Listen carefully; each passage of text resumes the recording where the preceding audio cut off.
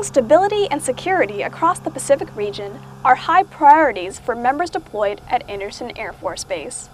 The 20th Expeditionary Bomb Squadron, deployed from Barksdale Air Force Base, recently celebrated their 98th birthday by dropping the last M117 bomb in the Pacific.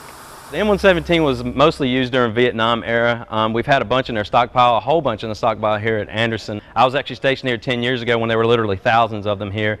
And there's been uh, different ammo troops and different air crew and weapons people that have built and touched this weapon and this will be the last one in PACAF. That's why we're calling it the last blast. Everybody's really excited about it. The Buccaneers of the 20th Bomb Squadron felt honored to witness and participate in this last drop. It's pretty awesome to be able to uh, fly out here and drop live weapons, especially on our birthday. Uh, B-52 crews have come through Guam and dropped M117s starting in Vietnam all the way to the, the present day. And so actually being able to be a part of the crew who gets to drop the last weapon out here is not only just great training, but it's part of a pretty cool legacy uh, that we all get to share in. The CBP, or Continuous Bomber Presence, dropped the 750-pound bomb on an island typically used to conduct training.